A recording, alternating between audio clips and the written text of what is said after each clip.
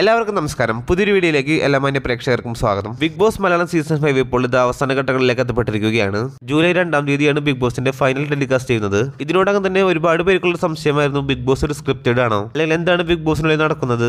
Voting കുറഞ്ഞ് Serena പുറത്തു പോയിട്ട് വീണ്ടും തിരിച്ചു വരുന്നു. അതുപോലെ തന്നെ ഒരുപാട് ഡിസർവിംഗ് ആയിട്ടുള്ള ആൾക്കാരെ പുറത്ത് കളഞ്ഞുകൊണ്ട് കുറെ പേരെ സേവ് ചെയ്യുന്നത് ഇൻക്ലൂഡിംഗ് കഴിഞ്ഞ വീക്കിലെ വിഷ്ണുവിന്റെ വീക്ഷണം അടക്കം. ഇപ്പോൾ ഇത് ആ സംശയങ്ങൾക്കെല്ലാം ഒരു മറുപടി ആയിട്ട് ബിഗ് ബോസ് ഹോട്ട്സ്റ്റാറിൽ ഇന്നലെ ഒരു പോസ്റ്റർ ഇറക്കിയിരുന്നു. ഇന്നലെ വൈകുന്നേരം ഡിസ്നി പ്ലസ് ഹോട്ട്സ്റ്റാറിൽ ഈ ബിഗ് ബോസ് സീസൺ ഫൈവിന്റെ ഫൈനലിസ്റ്റുകളുടെ പേരടക്കമുള്ള ഒരു പോസ്റ്റർ ആയിരുന്നു ഹോട്ട്സ്റ്റാറിൽ ഇന്നലെ ഇറക്കിയിരുന്നത്. എന്നാൽ പെട്ടെന്ന് തന്നെ അവരത് റിമൂവ് ചെയ്യുകയും പക്ഷേ അതിനോടകം തന്നെ ഒരുപാട് പേര് സ്ക്രീൻഷോട്ട് എടുക്കുകയും ചെയ്തിട്ടുണ്ട്. ആ പോസ്റ്ററിലുള്ള ആൾക്കാരെന്ന് പറയുന്നത് സെറീന മിഥുന ഗിൽമാരർ ശോഭ ജുനൈസ് എന്നിവരാണ്. അങ്ങനെയാണെങ്കിൽ എല്ലാവരും പറയുന്ന പോലെ ബിഗ് ബോസ് സ്ക്രിപ്റ്റഡ് ആണെന്ന് പറയേണ്ടി വരും. കാരണം മിഥുനേക്കാളും സെറീനേക്കാളും നന്നായിട്ട് കളിക്കുന്ന ഒരു പ്ലെയർ കൂടിയാണ് റിനീഷ. അതുപോലെ തന്നെ ഷിജു ആണെങ്കിലും റിനോഷ് ആണെങ്കിലും ഇവരൊക്കെ ടോപ്പ് ഫൈവിലേക്ക് വരാനുള്ള ക്വാളിറ്റി ഉള്ള പ്ലേയേഴ്സ് തന്നെയാണ്.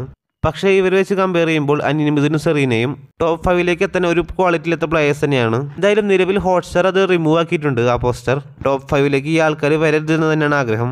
എന്തായാലും കാത്തിരിക്കാം പുതിയ അപ്ഡേറ്റുകൾക്കായി